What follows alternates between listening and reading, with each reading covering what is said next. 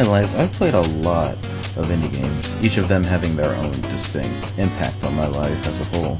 But you want to know the most impactful indie game I've played over the years? Nuclear Throne. I haven't played this game in so long too.